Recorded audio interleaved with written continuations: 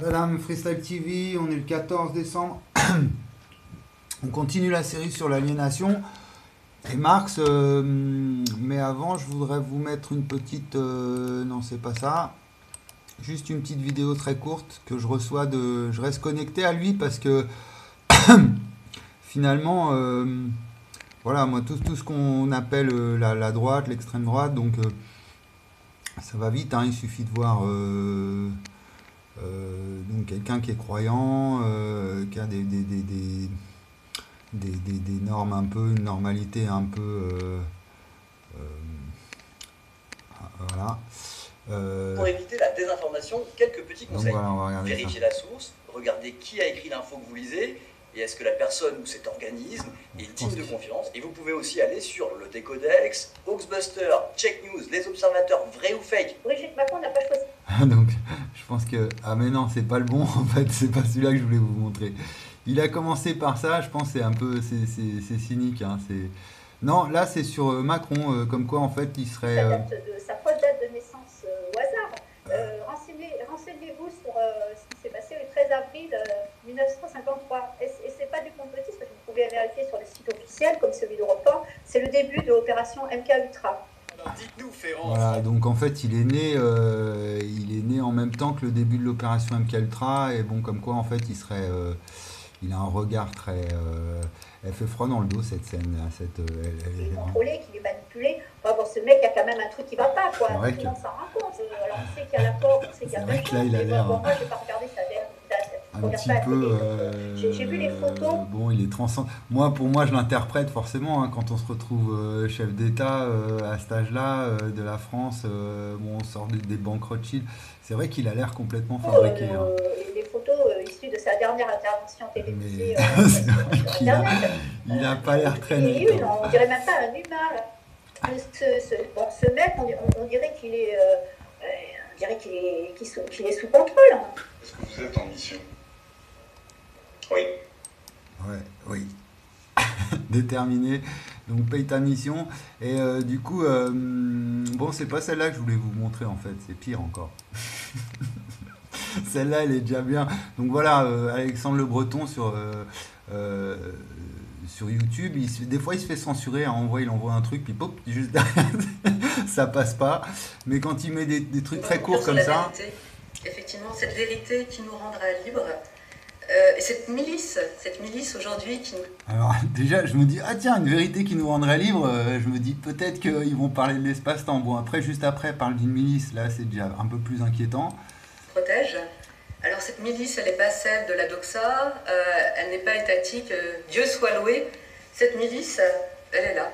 C'est la milice de Saint-Michel, de l'archange Saint-Michel, de l'église militante, de laquelle nous nous, euh, nous, euh, nous inspirons, nous prions tous les jours, nous prions pour vous aussi, comme j'espère que vous priez pour nous, parce que voilà, il est là, celui qui nous protège aujourd'hui. C'est l'Église militante, c'est Saint-Michel, c'est l'exorcisme de Saint-Michel que nous devons faire quotidiennement dans ce combat, dans ce combat qui, vous l'avez compris aujourd'hui, est contre les forces du mal. Donc, euh, prière de Léon XIII, Saint-Michel archange, défendez-nous dans le combat, afin que nous ne périssions pas au jour du redoutable jugement. Donc, nous avons Saint-Michel avec nous, et bien évidemment le cœur sacré de Marie et de Jésus. Donc, euh, euh, donc une, mi- une milice militante euh, protégée par un archange. bon, moi, je veux bien, je respecte les croyances en fait, hein, de, tout un chacun. des fois, ça peut être bien pire hein, pour certaines personnes. Donc, on a tous des croyances. Après, bon, c'est vrai quand ça, ça, la foule, les effets de foule, hein, Gustave Le Bon, tout ça, dès, dès qu'une croyance, elle commence à être partagée par un groupe. euh, euh, bon, là, c'est tout de suite là. Puis même la psychologie sociale en général, hein, il faut, s'inquiéter.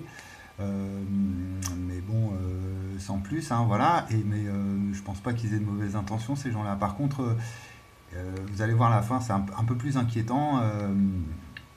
et au sujet de l'aliénation aussi, de, de- voir euh, de quelle manière euh, l'aliénation marchande, hein, on va dire, hein, pas, pas, religieuse, marchande. Bon, bien que Marx, lui, justement, hein, il mettait la religion comme euh, il parlait de l'opium du peuple. hein, donc, euh, euh, mais là, ils font une promotion en fait. c'est une, page promotion, c'est une page de pub. Donc euh, c'est ça que j'essaye de- d'exprimer, euh, c'est que même euh, si on est religieux ou anarchiste aujourd'hui, on est dans la, on, on est dans le marketing quoi, hein, quoi qu'il arrive. enfin c'est inconscient, hein, ça se fait. qui nous protège et qui triomphera, qui triomphera au bout de cette épreuve. Donc il y a épreuve, mais il y a aussi victoire et triomphe. Et nous continuerons coûte Coûte que coûte. Donc euh, hein, on voit bien, elle, elle vend son, son, son bout de gras comme un youtubeur va vendre sa chaîne YouTube ou une équipe de foot. euh, voilà, on gagnera la Coupe d'Europe. Enfin, que c'est pareil. coûte à marcher pour ce triomphe, car la mort, comme vous le savez, n'existe pas.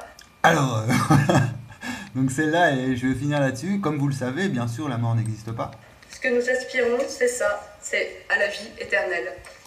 Donc c'est là où, où là, euh, là il faut s'inquiéter. Alors bien sûr, euh, en fait, la mort, c'est la fin de l'existence. hein, si, si on a une vision euh, spatio-temporelle du truc.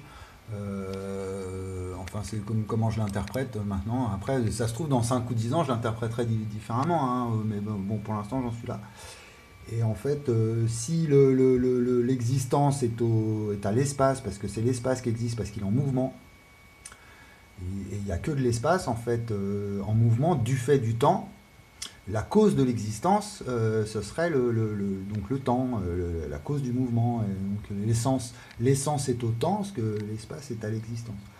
Donc là, là, cette fameuse essence que les francs-maçons veulent, combattre en fait. hein. Donc c'est ça hein, qui combattent, hein. c'est la, les croyances comme ça de, ce type-là. hein. Donc en fait c'est des gens, c'est des croyants qui sont en fait en guerre contre la franc-maçonnerie en fait quelque part. euh, voilà.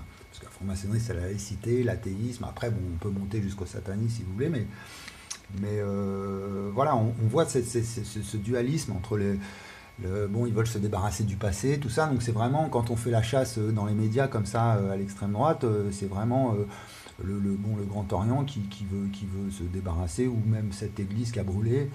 euh, cette euh, comment elle s'appelle cette petite église Notre-Dame de Paris qui a cramé euh, dans des circonstances un petit peu étranges quand même avec tous les milliardaires qui donnaient l'antine à ce moment-là c'était un cirque je rigole mais bon donc la mort, euh, la, mort, bah juste, et donc elle finit sur l'éternité même, hein, je crois.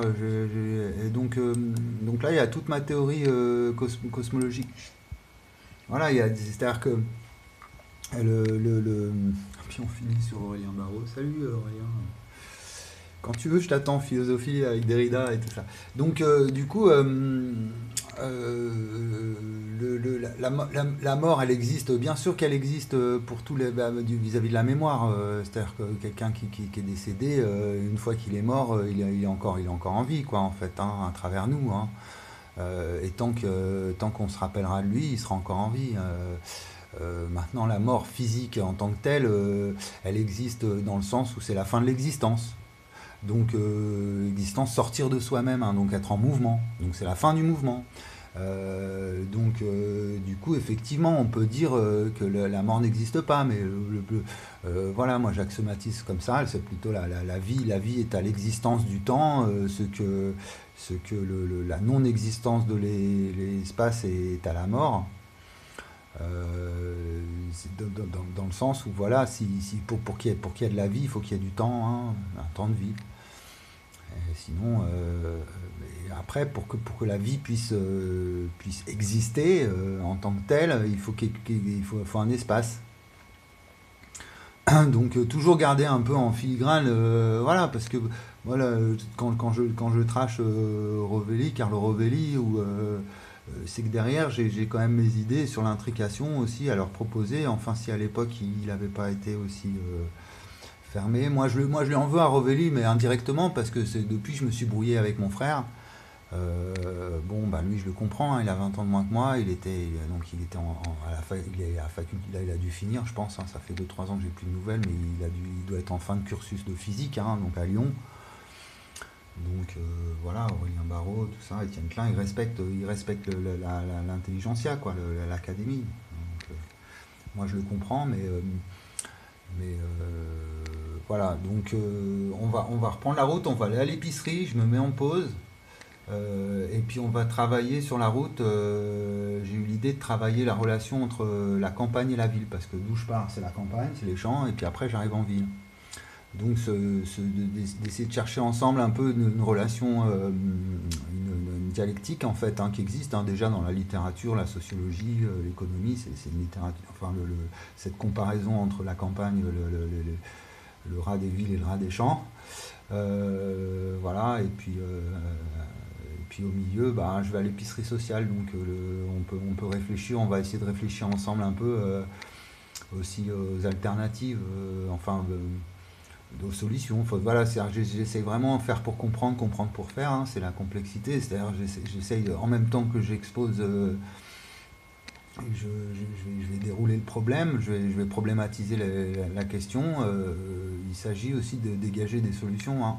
Euh, c'est souvent ce qui manque dans le discours militant. On cible, on cible la faute sur l'autre sans avoir de solution. Parce que les solutions, elles sont tout, tout, tout, tout, tout en haut. tous ceux qui tirent les ficelles, quoi et on laisse plus les solutions aux gens d'en bas. Donc du coup, on n'a plus de solutions, on n'a que des problèmes. Et du coup, on remue la merde, on remue la merde et ça pue. Et, euh, voilà, et c'est pour ça que j'ai tendance à être un peu virulent aussi avec les, médias alternatifs. Euh, euh, Blast, tout à l'heure j'étais sur investigation, bon voilà. Donc, bon, puis on n'a pas fini en fait, hein, ça, s'est arrêté à 11 minutes, mais Bon, moi, je suis, de toute façon, je suis en mode freestyle. Hein. Le petit bout de chaîne, euh, voilà, hein. on négocie la longueur de la chaîne, quoi, aujourd'hui, quoi, en fait. Puis on parle de chaîne YouTube en plus, donc euh, on y est encore, complètement. C'est une aliénation YouTube, euh, Facebook, complètement. Une aliénation au marché, au capitalisme, et contrôlée par l'État.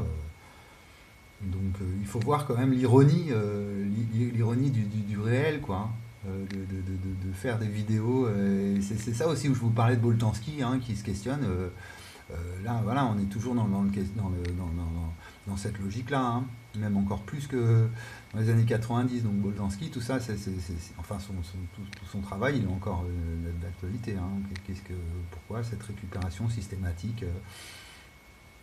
Bon, voilà, il faut peut-être essayer de comprendre justement ce qui se passe entre les, francs-maçons et les religieux, ou alors voilà, la ville et la campagne. On va essayer de creuser. Allez, à toutes. Ok, on continue. Euh, on va bouger. Bon, bah voilà, j'ai des problèmes d'électricité. Il euh, n'y a pas de fusible en fait, c'est les vieilles installations. Et puis euh, mon branchement, avec la plaque là, c'est le gros bazar. voilà, j'ai ramené la tour. la nouvelle caméra, elle est, dans ce carton là. Donc, mais alors, j'ai c'est le souk dans le squat. Donc, euh, étant donné que je me fais harceler un peu par petites touches comme ça en permanence, euh, du coup, ça m'encourage pas du tout à, persévérer, à, être, euh, à, ranger, nettoyer, aménager, de rénover, parce que voilà, hein, il y a toujours la menace avec les forces de l'ordre. Enfin, là, j'ai signé le papier. donc, ouais, donc voilà, c'est parti. Euh, donc on va à l'épicerie sociale, euh, euh, ils vendent des produits vraiment très peu chers, mais sauf quelques-uns, bizarrement. Des steaks hachés à 50 centimes l'unité, donc on a l'impression que c'est pas cher. Et puis j'ai fait la remarque la dernière fois, j'ai dit mais en fait quand on en prend 10, ça fait 1 kg et ça fait 5 euros le kilo et c'est le prix, c'est le prix du commerce quoi. Un Lidl ça vaut 5 euros. bon, gros malaise. Ils vendent de l'alcool parfois. Je trouve pas ça très bon, mais pas cher. Donc moi, ça m'a, par exemple, je bois plus d'alcool. Et puis quand je vois de la bonne bière, euh, en plus c'était de la bonne bière, à 30 centimes la, canette, bah voilà. Bon, voilà, ça m'a fait du bien, mais euh, euh, c'est-à-dire qu'on est dans la même logique que les supermarchés. Hein. donc c'est une adaptation, comme le magasin d'informatique aussi, là où j'ai acheté mon, mon PC. Euh, c'est-à-dire qu'ils touchent des subventions, ils sont sollicités par l'État, euh, enfin ils sont soutenus par l'État. Euh, là où enfin, c'est un peu obligatoire quoi, parce que si vous montez votre association sans, vouloir vous soumettre à l'État, faire de la réinsertion, toucher, et puis même de toute façon c'est pas rentable. Donc je pense pas que ils peuvent gagner vraiment leur vie. Ils sont au moins 3, 4, 5, 6 ans employés. Je pense que voilà, ils fonctionnent aux subventions. Euh, l'épicerie sociale, j'imagine que c'est pareil aussi. Et donc, euh, ça permet de, il y avait une association qui s'était créée il y a très longtemps, enfin dans les années 80-90, et c'était juste des. Je vais vous raconter l'anecdote, c'était juste des, voisins, euh, voilà, et qui ont, ils ont créé les jardins de l'amitié pour euh, voilà, faire des petits jardins euh, de, partage, quoi, hein, local et convivial. Et donc voilà, ça a été, ça a été récupéré par l'État et ils en ont fait quelque chose d'insertion, association. Bon, moi je suis pas resté longtemps chez eux, je vous raconterai peut-être un jour comment ça s'est passé. Euh, et pour les repris de justice, donc je sortais de prison et bon voilà, ils m'ont fait, ils m'ont fait un contrat et puis ça, ça a tourné court. les jardins de l'amitié en plus, le nom. voilà, donc à partir du moment où l'État récupère l'énergie en fait euh, vive, hein, l'énergie vivante, la vie, euh, voilà, c'est-à-dire que l'auto, euh, ouais, l'autogestion anarchiste, mais c'est même pas anarchiste hein, comme démarche, c'est aussi citoyen, c'est dans le cadre de de, ben, des droits fondamentaux, liberté, égalité, fraternité, ça veut dire quoi si c'est la liberté d'association 1901 et, en fait non, il y a cette mainmise étatique avec les normes euh, à respecter. Euh, euh, bon, j'ai reçu encore des coups de fil, je me fais harceler par des boîtes privées de, formation parce que on a un compte CPF, on a tous un compte CPF. le mien en fait il sert à rien parce que j'ai pas assez de, j'ai fait une formation en arboriculture en 2018 donc j'ai pas assez en fait il n'y a rien de changé hein. c'était comme avant il faut attendre au moins 5 ans avant d'avoir à nouveau des droits mais comme ça a été privatisé, hein, comme l'électricité et tout le reste, enfin le pôle emploi, on connaît tous ce que c'est devenu. Euh, du coup, il y a des boîtes qui m'appellent tout le temps. Je me fais harceler, quoi, euh, au moins une fois par semaine. Euh, oui, votre compte CPF, des fois c'est la même boîte même. Donc, voilà où on en est. C'est-à-dire qu'on pousse, on pousse, on pousse à la formation parce que l'État, en fait, il, oriente le, marché du travail dans la direction où il veut aller. Euh, euh, et, en fait, il y a une idéologie, hein, euh, voilà, une idéologie de,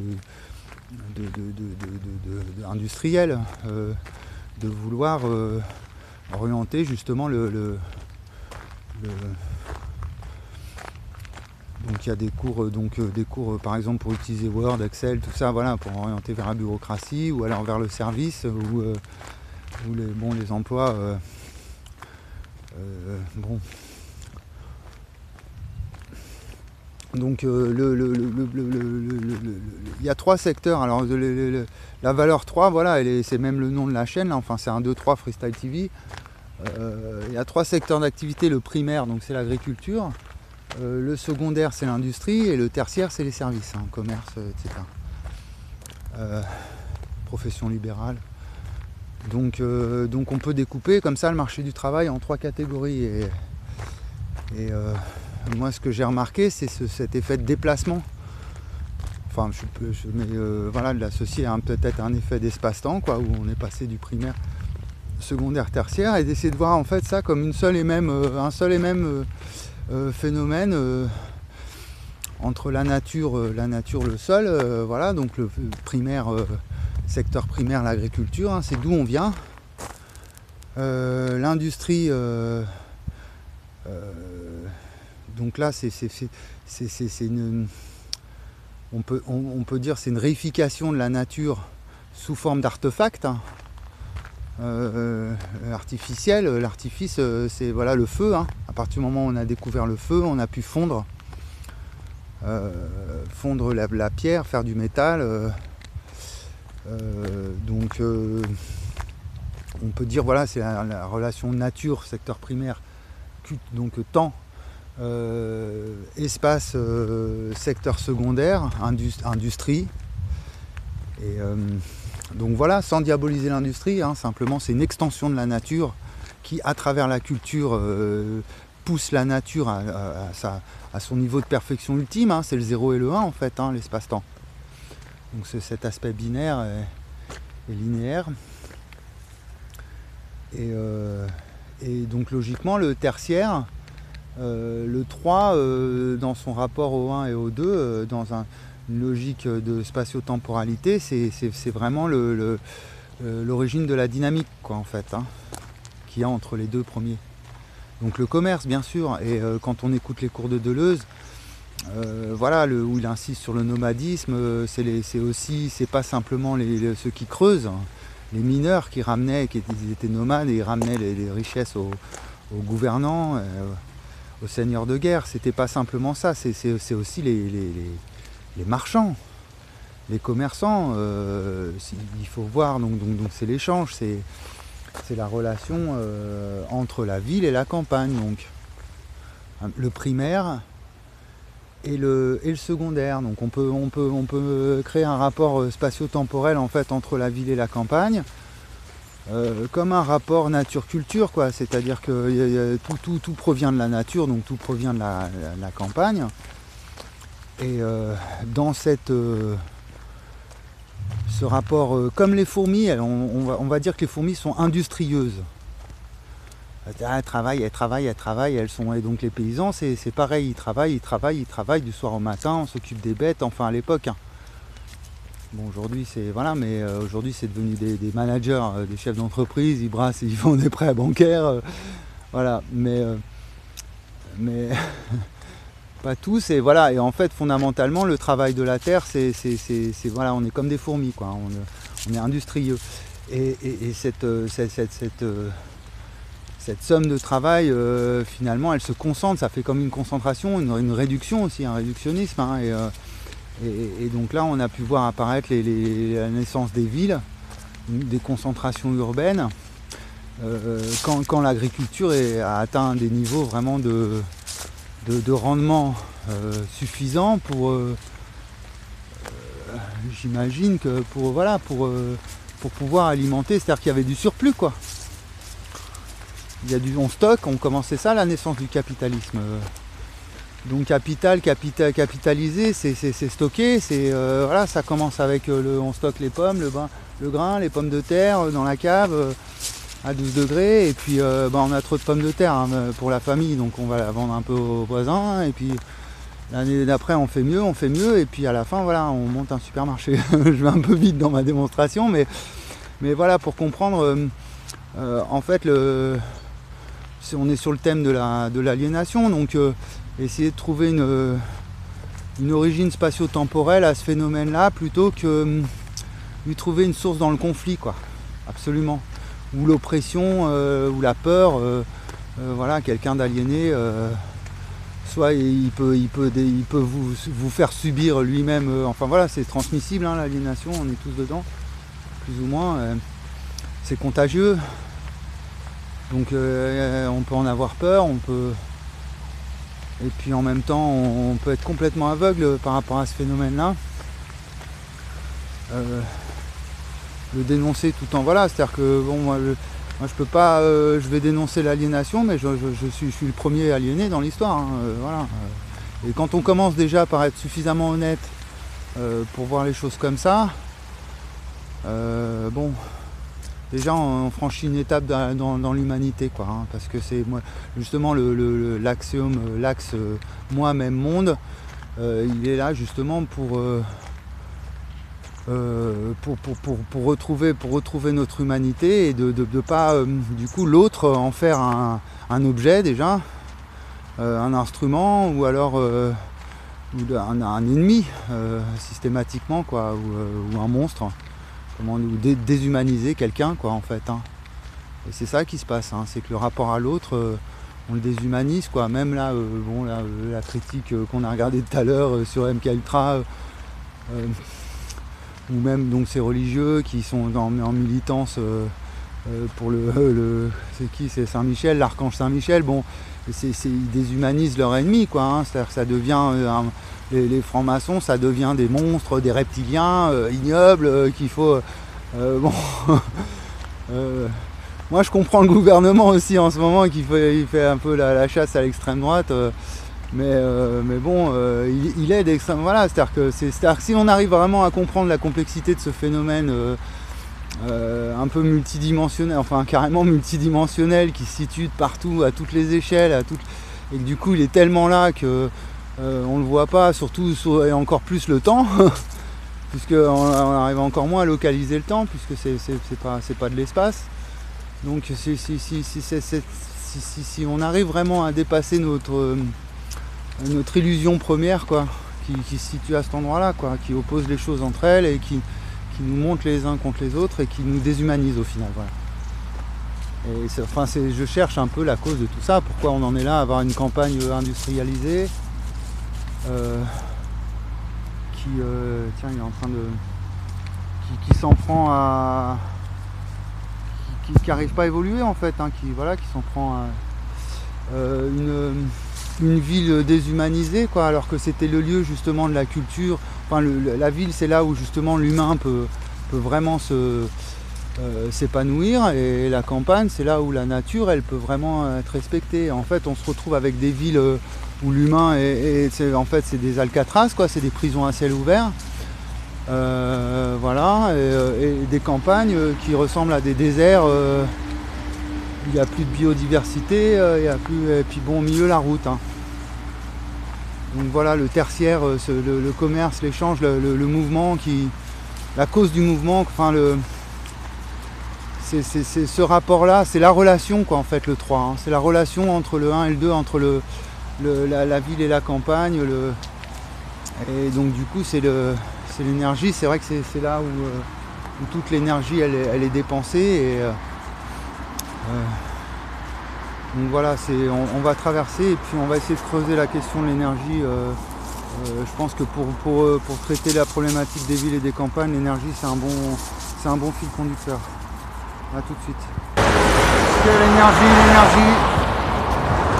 Pétrole, du pétrole. Il y a les agrocarburants avec, hein, vous inquiétez pas, ils ont. euh, gèrent le truc. Non mais. euh, le, le- le- problème de l'énergie, euh, il, est, vraiment fondamental parce que j'ai une petite j'ai une petite image, peut-être je la mettrai en présentation de la vidéo. J'ai euh, une petite image humoristique euh, où on voit un, fils, un ado qui rentre de l'école. Et euh, il y a son père qui est là et il dit ouais, avec sa feuille, son bulletin à la main, sa copie à la main, il dit ouais j'ai une bonne note en électricité papa. Et t'as le père qui regarde sa facture d'électricité et il dit ouais moi aussi ouais. Bon c'était une, une BD humoristique pour dénoncer la hausse des prix. Euh, de l'électricité. Donc euh, voilà, on reste, on reste dans le concret, c'est l'aliénation. Donc c'est- une forme d'aliénation parce que le fils, euh, voilà, ça, ça- va jouer sur ses émotions, sur, son, sur sa, journée, son week-end, il va être content tout le week-end, il va appeler ses copains, ça va lui changer, voilà, ça lui- il va se décider d'a- d'acheter ici, de, voilà, de faire sa déclaration à sa bien-aimée ce jour-là parce qu'il a une bonne note. Donc il faut, il, faut voir, alors que en fait, bon, c'est une note euh, qui va le, bon, euh, c'est, euh, qu'est-ce que c'est par rapport à, quelqu'un qui, qui- va, qui va, qui va construire. Enfin, l'électricité, c'est, on l'apprend pas forcément à l'école, quoi. On voit bien un électricien. quand il apprend, on apprend les bases à l'école, mais bon. Et puis, euh, et puis le père, euh, pareil, euh, ça va lui faire un ulcère, il va être contrarié toute la journée, il va faire la gueule à sa femme parce qu'il s'est payé une facture bien salée de EDF, voilà, où il a changé de fournisseur et du coup il s'est fait avoir. Donc il faut voir l'influence, et puis alors qu'en fait c'est quoi? C'est de l'argent c'est de l'argent, c'est une valeur d'échange lambda, voilà. hein, et donc euh, voilà, un exemple d'aliénation. Et, euh, alors euh, là, on va vraiment pousser le bouchon à l'extrême. C'est que vous prenez un physicien honnête, honnête, hein, je parle pas de Étienne Klein ou Aurélien Barraud. hein. je parle vraiment un physicien vraiment honnête. hein. On lui demande ce que c'est que l'électricité, il vous dira je sais pas. Voilà. Donc là, on est peut-être justement dans le dans le, le- le- fondement de l'aliénation. euh, c'est un peu voilà. euh, C'est-à-dire que qu'il y, a- il y a tellement en fait une ignorance, euh, une, euh, on, on a tellement compris de choses en fait au cours des trois derniers siècles, c'est allé tellement vite et on a tellement avancé vite, vite, vite du coup voilà c'est ça, c'est je reprends souvent cette image-là du moustique attiré par les phares de la de la voiture qui passe à 120 km/h quoi. hein, et- nous, ah la lumière, la lumière, la connaissance, on sait, ah oui je sais, regarde, regarde, et paf Paf le chien. La. Donc euh, paf le moustique quoi. Et puis euh, voilà, c'est un peu ce qu'on se mange à notre époque, c'est-à-dire qu'on est bon. euh, je crois qu'à la fin du, du, du 19e siècle c'était pareil, hein, avant justement l'époque de Mac et Planck. euh, ils étaient tellement fortiches les gars quand même à l'époque, hein, c'était vraiment, ils étaient beaucoup plus intelligents que nous hein, quand même les gens du 19e, hein, il n'y a pas à chier.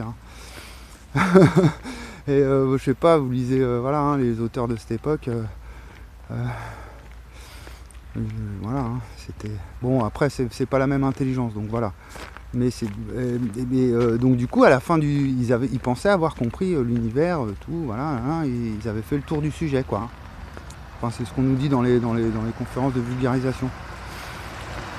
Et puis, bon, bah voilà, tout est, tout est reparti avec Einstein et Planck et, voilà, le quanta de lumière. Donc, Maxwell, voilà. Mais. Mais on, pensait y être arrivé, hein, euh, d'être vraiment proche de la vérité. Et, donc euh, du coup, euh, il faut se dire la même chose aujourd'hui, quoi. C'est-à-dire qu'avec la 5G, les, hein, on pense vraiment.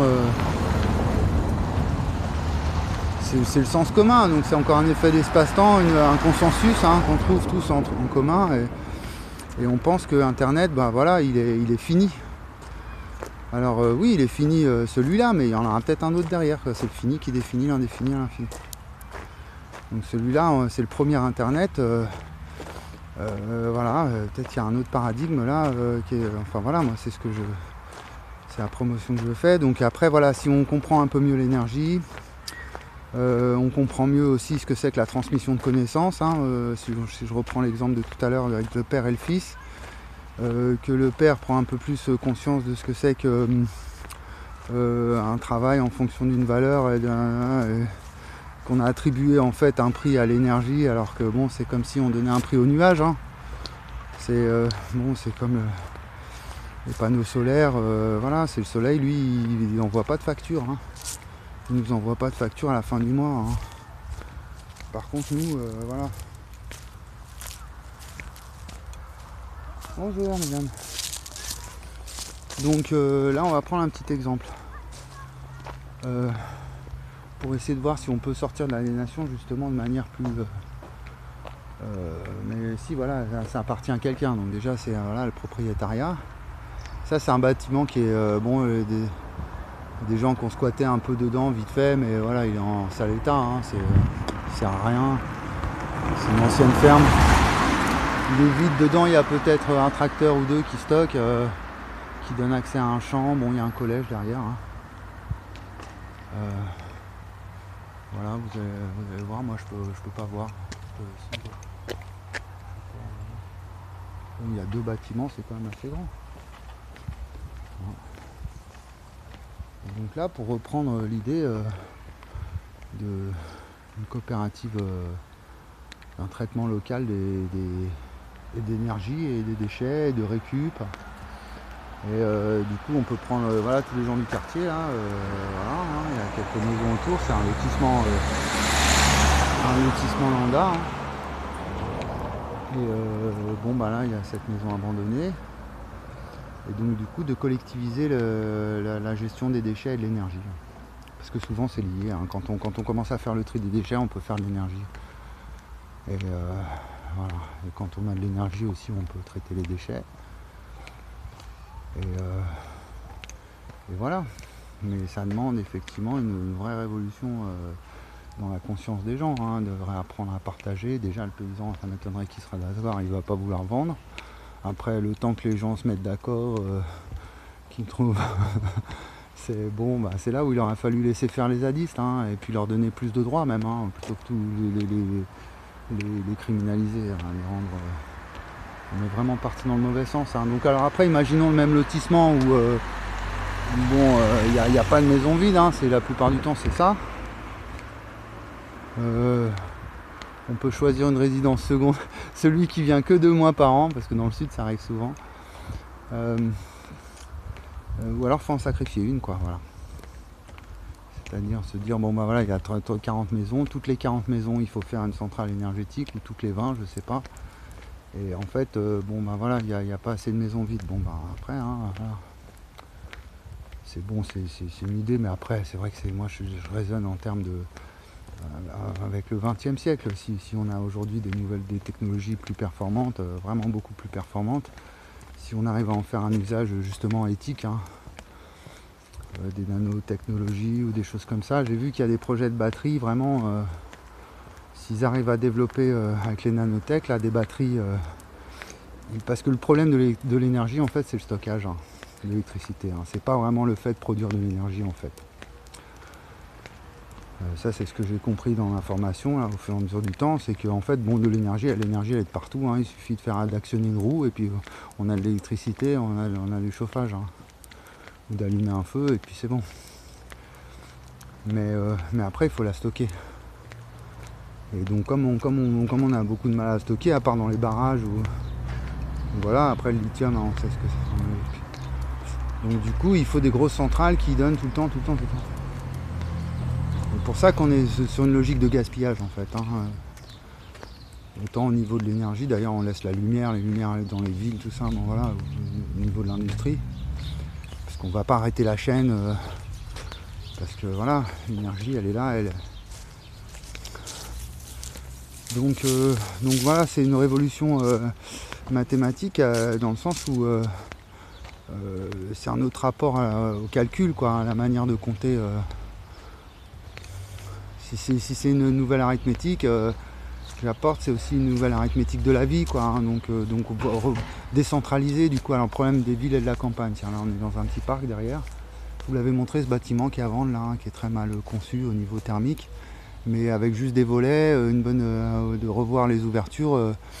laisser les ouvertures au sud, fermer celles, enfin on va voir un peu une, conception bioclimatique. Voilà, il faut des. Bah, y a des clims de partout, hein. il y avait des clims de partout. Donc revoir un système, peut-être faire un, un, puits, canadien chauffé avec le sol, euh, euh, ou, carrément, bon, euh, hein, après on creuse la terre, hein, le dessous, si on creuse vraiment à, 20, 30, 40 mètres, 50. Enfin, il y a des. Je crois en Alsace, ça se fait pas mal la géothermie, hein, et ça c'est super, c'est avec le, magma, quoi. Donc là, par exemple, un bâtiment qui sert à rien, bon, bah, imaginons une, coopérative euh, euh, donc énergétique au milieu arrêté et qui en même temps euh, elle, elle, distribue localement également les, ça, peut servir aussi de transit hein, pour le parce qu'on a, on a, une campagne juste à côté hein, où ils, bon, ils font que du pommier quasiment et quand ils font des légumes souvent c'est pour eux en fait hein. Si, il y en a un qui fait, y a un maraîcher quand même qui fait pas mal de. Euh, plus la, dame que, je, vais souvent. Donc euh, il suffit juste de consacrer, puis de toute façon le maraîchage, il ne faut pas beaucoup de surface hein, par rapport aux pommiers. Hein. Donc plutôt que vendre des pommes euh, qui partent à Saint-Charles et qui vont à l'autre bout du monde, parce que franchement elles vont, elles de partout après, une fois qu'elles sont à Saint-Charles, la pomme elle peut se retrouver à Tokyo, à New York, n'importe où. Hein. Donc déjà produire local, et puis après, bah, un bâtiment comme ça, par exemple, pour refaire des logements, bah, c'est bof. Euh, donc après, on peut. Euh, pour, pour, pour euh, transformer même la nourriture. Hein. voilà, s'il faut faire des, je sais pas, des confitures, des choses comme ça, ou alors traiter les, traiter par exemple, bon là-bas c'est les déchets, ça fera les déchets et l'énergie, et tous les pots en verre par exemple, euh, donc plutôt que les balancer dans une benne qui soit pétée, qui traverse l'Europe, on peut allouer euh, une, pièce euh, pour apertiser, enfin apertiser ces boîtes de conserve, mais stériliser les. Hein, voilà, c'est tout, avec un, système énergétique renouvelable. et hop, et les pots de confiture, au lieu de les balancer dans une benne ou même ne pas faire le tri du tout, hein, ou les mettre dans la poubelle jaune et qu'elle soit cassée pour être pour refaire des pots de confiture avec, enfin c'est stupide quoi, ça n'a aucun sens. Hein. Bon voilà, mais il faut savoir que l'industrie des, des- des- des- des traitements des déchets, c'est des mafieux, hein, c'est les, je vous dis, je vous enfin c'est les mafieux.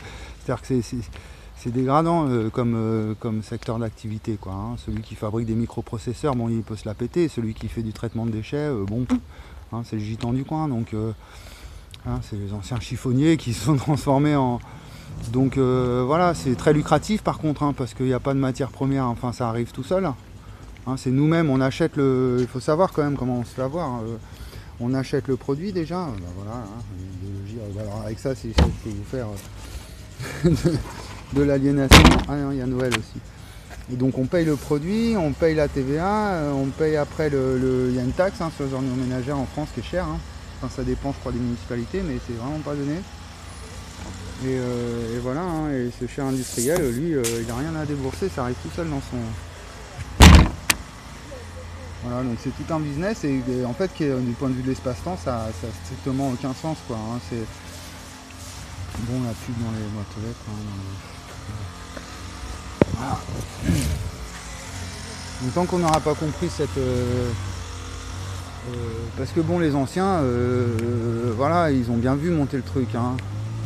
Moi, j'ai toujours entendu les grands-parents, les vieux dire oh là là, il n'y a plus de, y a plus de, où est-ce qu'on va, on va où, oh là là. Qu'est-ce que c'est que cette, euh, cette jeunesse Qu'est-ce que c'est ce. Puis bon, ben après, après, au fur et à mesure du temps, forcément, on est corrompu. Donc voilà, ah, une belle voiture, un, beau, un bel écran plat, euh, la télé toute la journée, plein de programmes, plein de. Donc tout le monde s'est fait corrompre. hein. Euh, donc voilà, c'est le bon sens qui a été accumulé au fur et à mesure du temps dans le secteur primaire, qui en passant dans le secteur secondaire, il a été industrialisé, ce bon sens en fait. Parce que sous les premiers ingénieurs euh, qui venaient, euh, bon, il y avait l'éducation nationale, elle faisait des tests de QI, elle choisissait les meilleurs, euh, elle les envoyait dans les grandes écoles. euh, et bon, tout ça, c'est une intelligence qui vient de, voilà, de, milliers d'années, quoi, d'évolution humaine, de tradition, de culture. Donc on l'a, on l'a, transmuté dans le, subsumé dans le, dans l'industrie. Et, euh, voilà, on a des belles motos maintenant, mais ce qu'il y a, c'est que euh, c'est peut-être allé tellement vite, euh, tellement avec tellement de, violence. que du coup on se retrouve avec un secteur tertiaire euh, complètement fou quoi en fait.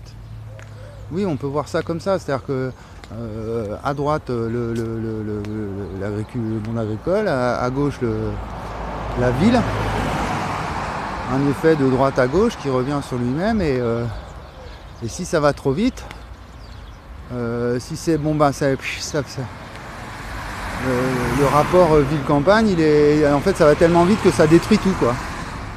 Le truc il peut-être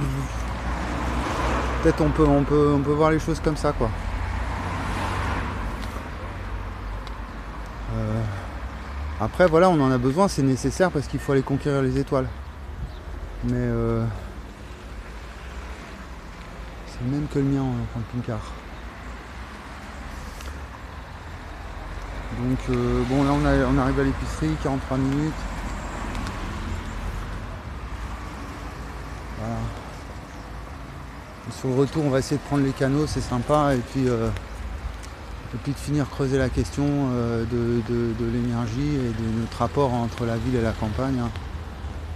Et comment euh, la, ville est venue euh, influencer la campagne. Quoi. Euh, elle est venue la, la- jusque dans nos campagnes, quoi. Voilà, c'est dans la Marseillaise. Elle est venue la, dé- la- la- la dénaturer. Et euh, au point que la ville elle-même euh, se retrouve dénaturée en fait. Et que la, cu- la culture, en, ville soient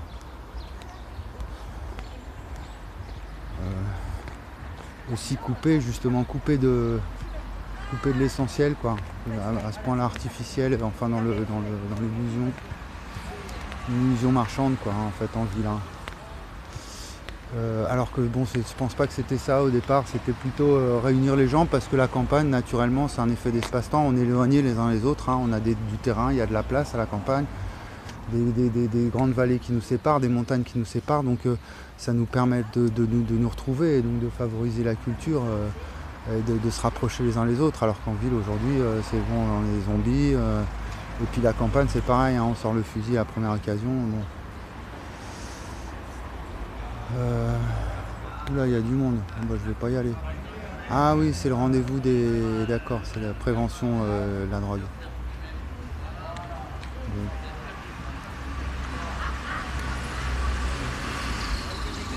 Comment ils appellent ça euh, Le pélican, non c'est pas C'est là où on allait, c'est après le marché, ils viennent euh, service de Perpignan pour faire le. Pour, euh,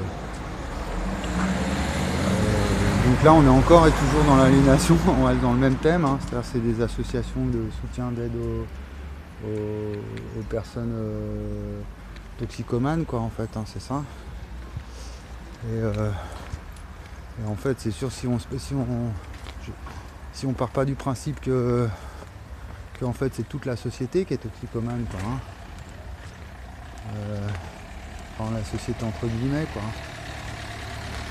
On peut être accro à la télévision, euh, accro à sa voiture, accro à la consommation, accro aux médicaments légaux. Hein. ça c'est un sujet que j'ai longuement creusé, hein. c'est ça le problème de la toxicomanie.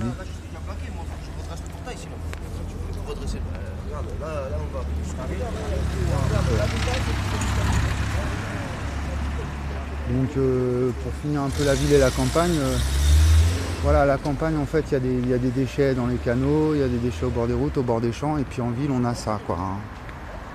Des trucs fermés, enfin en souterrain. Euh, là, comme ça, on peut plus aller faire de récup. Et puis c'est mécanisé, il suffit d'un seul. Euh, le but à terme, ce serait même que ce soit des robots, hein. des robots qui avec des voitures auto, comment ils appellent ça, des voitures autonomes, hein, qui fassent ça tout seul, hein, qui a plus de main d'œuvre pour faire ces sales besognes. Euh, donc là aussi la fermeture, donc l'espace, le droit à l'espace. Qu'est-ce que c'est galère à chaque fois, une par une. ils ont bien, ils contrôlent bien l'espace, l'État, voilà. Et donc ça, hein, ce dont je vous parlais là, c'est une bonne idée hein, de, recycler sur place quoi. Hein. Euh, on nettoie la bouteille euh, plutôt que la casser. Euh, alors voilà, c'est simple, c'est vert, c'est déchet. voilà, tout est faux. C'est une grosse imposture cette, société. Et réservé aux ordures, bah ouais, il y en a plein de gouvernements. Donc on connaît, on sait où ils doivent finir. Et voilà Yannick Jadot, hein, juste en face. Donc euh, on a l'imposture suprême quoi. Ça va? Voilà.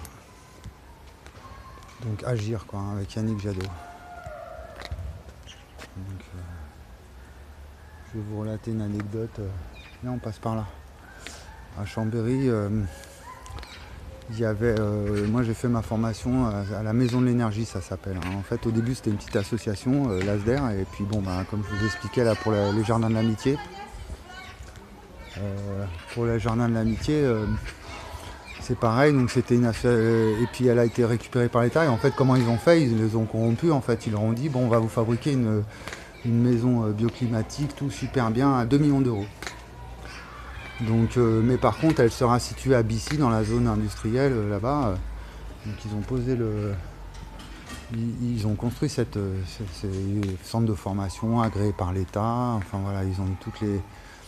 Ils se sont débarrassés du directeur, hein. ils l'ont muté, ils l'ont envoyé, voilà, ils l'ont fait fermer sa gueule. C'était un conspi, quoi. Ils ne croyaient pas au 11 septembre, alors bon.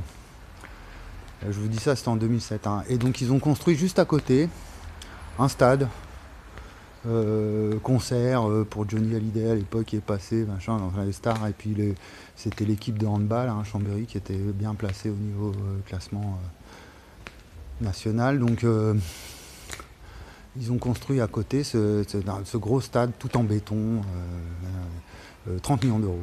35 même ça a dépassé, 45 millions d'euros. Et juste un peu plus loin, ils ont refait aussi les fours. bon bah là c'était les, fours d'un incinérateur, alors là ils ont fait tous les fours, donc comme ça ils ont tout centralisé la gestion des déchets à cet endroit-là. Euh, et je crois que maintenant, du coup, à Chambéry, il y a des, comme c'est une cuvette, il y a des problèmes, euh, il y a une hausse de, de, de- de- de cardiovasculaire, d'attaque. euh, il y a des problèmes de, de santé publique à Chambéry à cause de ça. hein. Bonjour.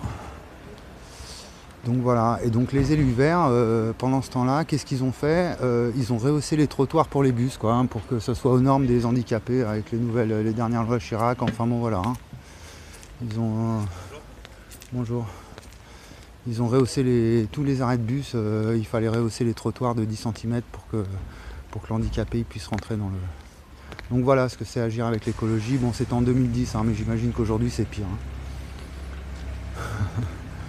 Euh, bon, après, il faut aller à Grenoble hein, pour comprendre ce qu'ils ont fait, comment ils conçoivent l'éco. euh. Bon, voilà, avec ses grands copains de Ruffin, je sais plus comment il s'appelle, le maire de Grenoble. Bon, c'est une logique, c'est vrai qu'il y a une logique nationale, puis après une logique européenne, hein, donc c'est des obéissances, c'est des chaînes d'obéissance, quoi. hein, il, faut, il faut voir ça comme ça, l'aliénation, en fait, c'est-à-dire que j'obéis à l'autorité au-dessus de moi, ce qui va me permettre de trouver des personnes euh, en dessous de moi qui vont m'obéir. Ou l'inverse, ou si j'ai des personnes qui m'obéissent, voilà, euh, si je veux.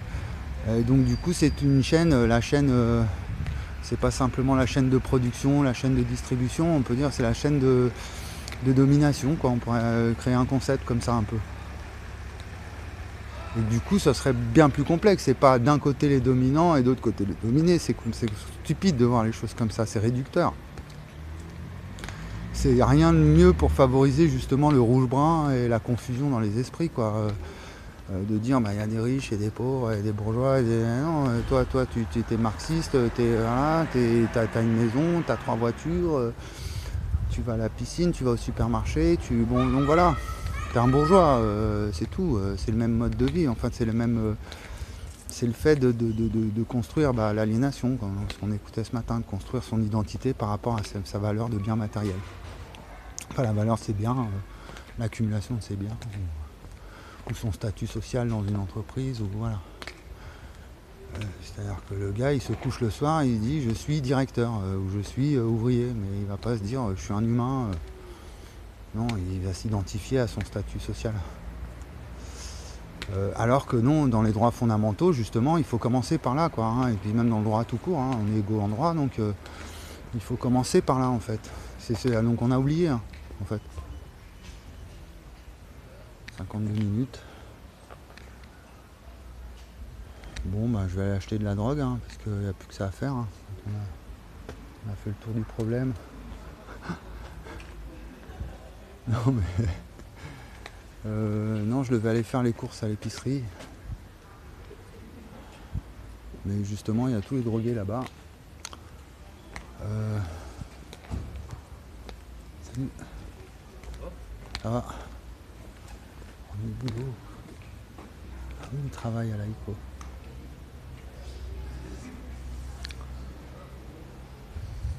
Donc voilà. Euh, donc euh, bon, c'est une critique acerbe. hein. C'est- acerbe hein, comme, euh, comme critique, mais bon. Ah, il faut que j'aille au CMP, tiens, prendre rendez-vous parce que j'y suis pas allé l'autre jour. C'est le centre médico. euh, on va y aller, tiens. 50 combien il est 53. Centre médico-psychologique. Covid, donc là, on est fascisme total. Sanitaire obligatoire, ah bon? À partir du 9 août, les différents sites de centres hospitaliers de Tours vous accueillent en toute sécurité et vous invitent à présenter votre passe sanitaire. Ah dis donc, il faut un pass sanitaire pour aller en psychiatrie maintenant. D'accord, bah c'est ce qu'ils ont fait à mon ami là, ils ont, fait semblant de l'opérer. Qu'est-ce que c'est que ça En fait, ça signifie quoi en fait? C'est un code pourquoi en fait? Ça sert à quoi? Je sais même pas à quoi ça sert le QR code.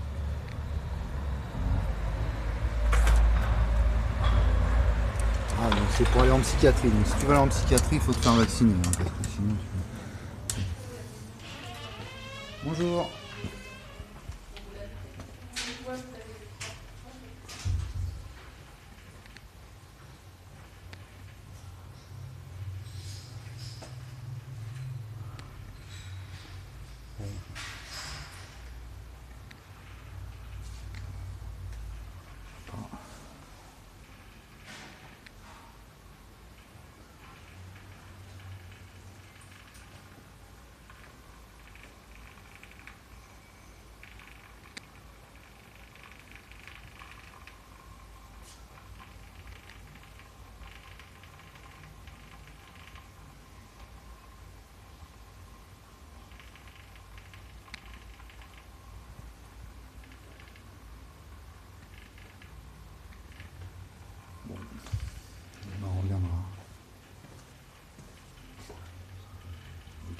Problème. Bon, heureusement c'est Noël, donc euh, du coup on a des guirlandes un peu, histoire de, se mettre un peu de joie dans le cœur. Il y a des petites guirlandes qui traînent avec un sapin. Sapin. Donc euh, voilà, Noël. Noël, en fait, on fête le, le solstice en vérité, quoi. hein. Donc c'est les- les jours qui, qui se mettent à, à rallonger à nouveau. Euh, c'est une renaissance, Noël. C'est enfin c'est vrai, c'est ça. On repart, pour un cycle, hein. Euh, un cycle annuel, quoi. Et après qu'on a ceci, ça, bon, au Christ il y a 2000 ans, ou alors à d'autres. non, c'est le solstice, c'est tout. Et c'est tellement important, j'imagine, pour l'humain. euh, ça devait être tellement important cette période de l'année. euh, euh, parce qu'il était connecté aux astres euh, et à la nature. Là où nous, en fait, dans un mode de vie comme ça, euh, urbain et bureaucratique et réglementé par l'État et le capitalisme, euh, voilà, il faut, aller travailler le matin à 8 heures, qu'on soit en janvier ou en, juillet. Bon, après, il y a des entreprises qui. Ça dépend, voilà. hein, il y a des métiers qu'on ne peut pas faire tout le temps, mais, mais c'est cette façon d'uniformiser l'humain, quoi, de le rendre euh, comme dans. comme dans un train.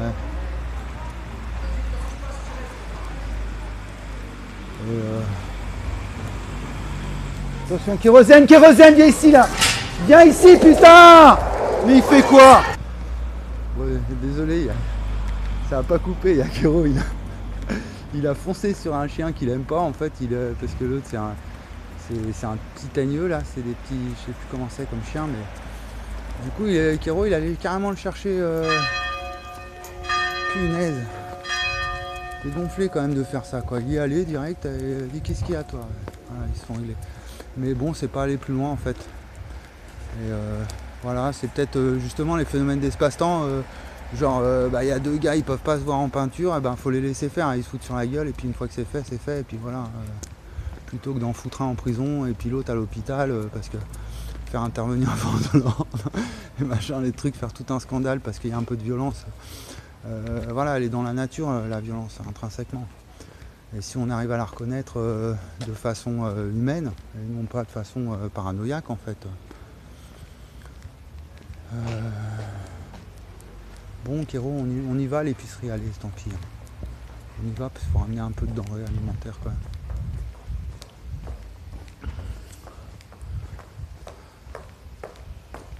Voilà. J'ai une amie, on s'est encore engueulé, mais est en psychiatrie. On n'arrête pas de s'engueuler hein, tout le temps. Euh, et, euh, et voilà, donc en fait, euh, euh, les, les- les- les villes françaises sont mortes, quoi, en fait. hein. Il n'y a, plus de- a plus de vie, quoi, en fait. Il n'y a plus de couleur, il n'y a plus d'âme. Euh, les gens ne s'arrêtent plus pour euh, parler ici. Alors ils parlent un petit peu, mais alors vite fait. hein. Sinon, j'ai remarqué, on parle dans, dans le. Bon, moi, ça me met très mal à l'aise. hein. J'aime pas du tout ça. Dans un supermarché, quoi. C'est-à-dire que c'est la zone. bon, même à l'église. c'est la zone de rencontre, quoi. Maintenant, on se rencontre plus.